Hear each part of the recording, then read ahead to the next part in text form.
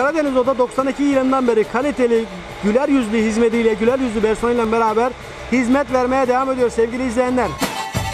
Yerinden aracınızı alıyoruz, yapıyoruz, ilk gibi pırıl pırıl size teslim ediyoruz sevgili izleyenler.